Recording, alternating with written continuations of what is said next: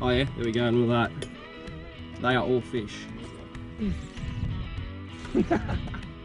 Using a sound, I've seen it on the down scan, free spooled eight foot down. She scoffed it.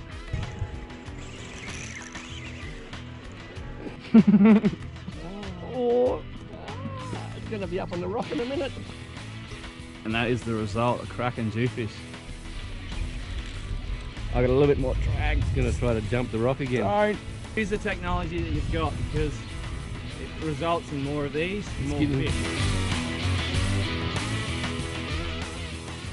So a lot of people ask how to use Simrad sounder or how to use structure scan to try and find the fish. Well, I'm going to show you how to do it when obviously scanning a large rock area or any sort of large bit of structure that you can physically see and you're going to take the boat along nice and slow on the outside of the rock and then you're going to pinpoint fish that are hard against the rock or sitting out. Just it just varies. So I'll run along and I'll show you some images and I'll spot some fish and then hopefully turn that into some, into some results. Right, as you can see we've got a large rock that is poking out of the water. It's a pretty well known spot. And what we're going to do we're going to mooch along the outside of it and mark fish that are schooled up around it as you can see straight away on the down scan, we've got fish marking up. And you've got the rock to the right hand side. And then obviously out to the left, you've got the mud. Now these bars indicate the distance from the center of the hull to the outside. So that's 20 feet, that's 40 feet, and that's 60 feet. I find 60 feet is a good comfortable range where you get good clarity and you can pinpoint the fish quite accurately. So as you can see, we're moving along slowly with the Minn Kota, scanning the rock. See a little bit of an indent there. Where obviously the mud comes in and then that's the rock area, and as it comes up into the shallows. Hopefully as I come along here, we should mark some fish. All right, there we go. So, see those guys there? Little grains of rice. Not sure what they are. They're fish, but they're only small fish. Well, we're looking for a large, a lot larger grains of rice, as we call it, and they'll have a large shadow off them. Oh, there's a fish in the down scan. Again, the rocks to our right. You got sand to the left, rocks to your right, sand to the left. All right, here we go. See on the right hand side in here, all these little grains of rice, and then you got the shadows off them they're all fish. So they are all directly right there in that pocket in the rocks. As you can see, you got a nice groove, obviously the rock shelf, shelf, and then they're all fish, all stacked in there with shadows in amongst them. Now they're off the bottom and they're moving around because the shadow is away from the grain of rice. If the shadow is touching the grain of rice, it means they're directly on the bottom, but there's a bit of a distance between the shadow and the grain of rice, so they're up and they're moving around. Not bad sized fish, they could be dewies or barra. It's a bit hard to tell when they're moving around like that. When they're stationary, it's a lot easier to pinpoint them. There you go, we've got, oh look at that. Cast out to your left, Dad. That is a large school of fish out to your left. You can see them all, always shadows. Oh yeah, there we go, look at that. They are all fish. So that means they are directly there. As you can see, you got the 20 foot line and the shadow. So they're within us and 20 foot of the rock of the boat. Jesus. All right, let's see if we can convert them to eat. Oh. Can't go too hard because they're not the best hooks. I know. Look at that big jellyfish. What do you reckon, Dewey or Barra? It's like a head shape like a jelly.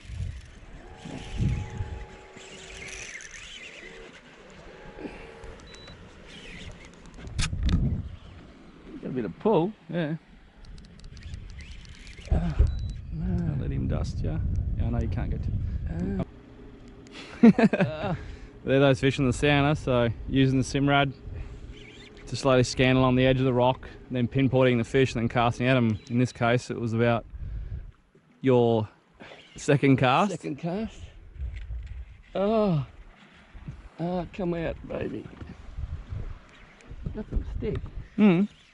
You'd either hooked a bar or A Dewey. a Dewey.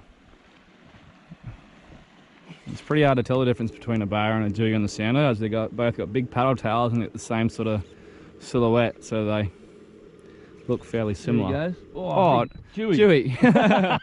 yeah. Oh, look at the size of it. Got a bad back, Shane. Yeah, slide him up. Oh, slide him up front.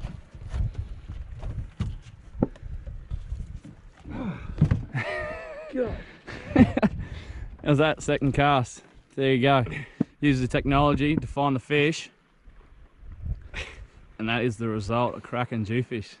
What a cracker. Tin ass Steve Compain. He's on again.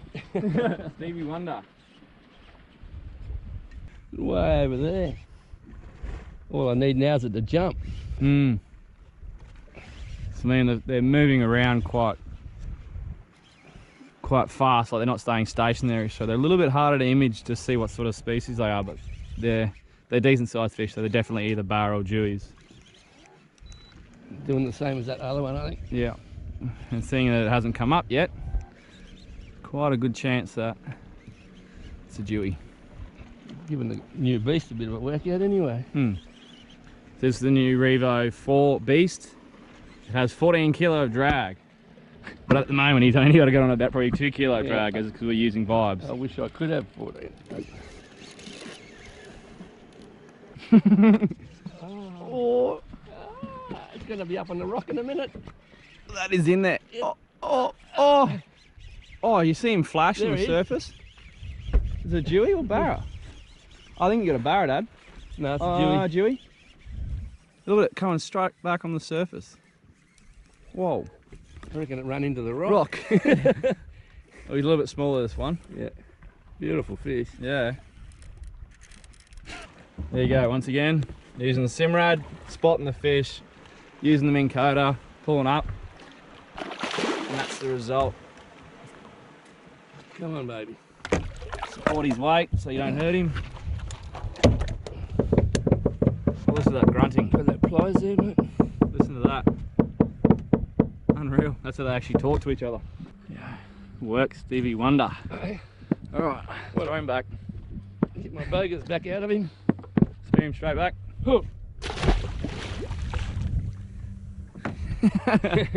Captain Tin Ass, I call him, but he continues to do it every year. All right, so that's two fish straight away.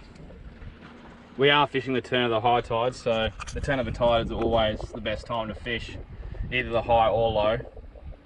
Uh, As it seems to be an indication when they're going to feed. But now we're going to come back to where we were.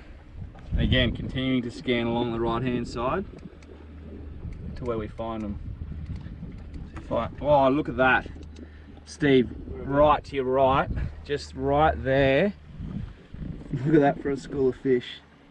So they're pretty much underneath the boat all the way out to about 27 feet to our right. So that's a school of fish that have just come directly past the back of the boat. The old boys cast back there and see how we go.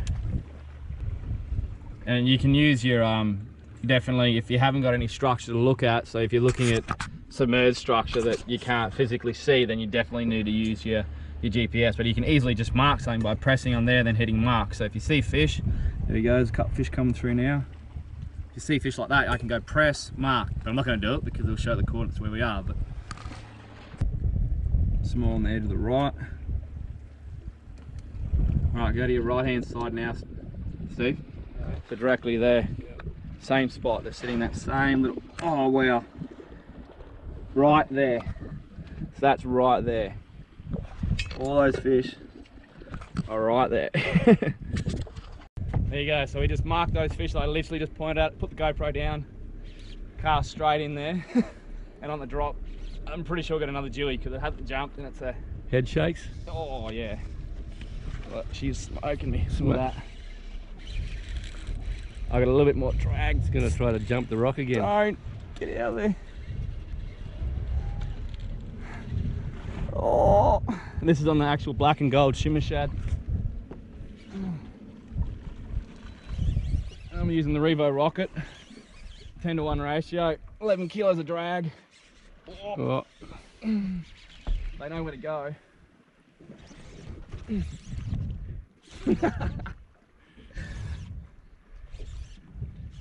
Everyone's got the technology nowadays. Everyone's got structure scan. Use it to your advantage like we are here. Like, if we didn't have it, you'd just be aimlessly driving along, casting randomly, but we're actually moving along, pinpointing fish, casting at them.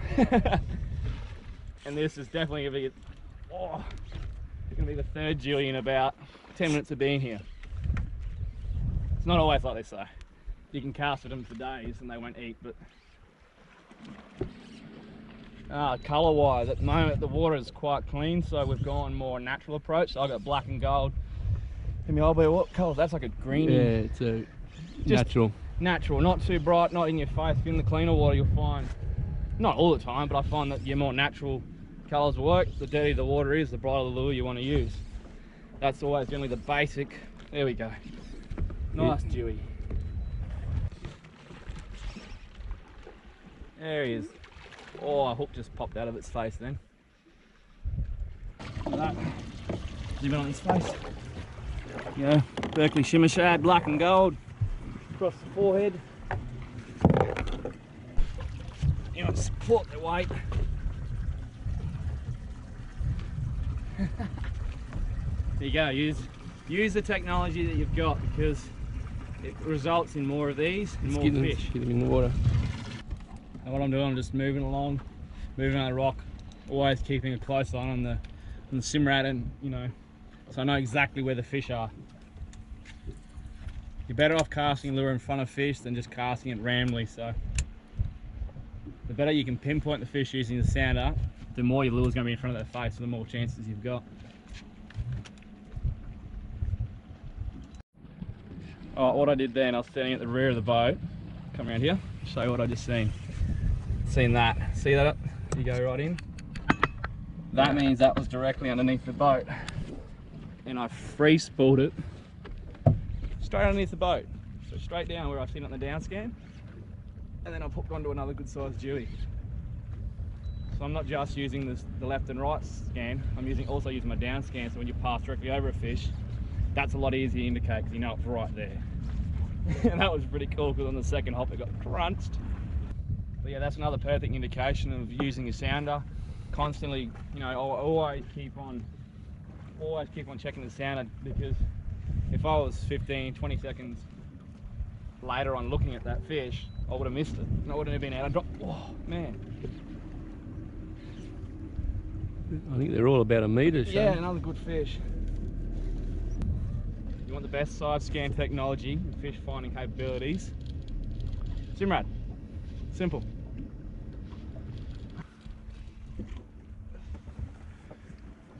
Good fish. Pity they weren't. Fish. pity they weren't barra, Shane. It's alright, I'll take them. For a lot of people, Shane, down south, that's a fish of a lifetime. That's it. Well, that, that vibe is scoffed. And uh, pliers, or grips, should I say. Look at that. Right in close. That's the shimmer shad down the hatch. Another beautiful jewfish. I go like absolute freight trains once again. A sounder, seen it on the down scan, free spooled at eight foot down. She scoffed it.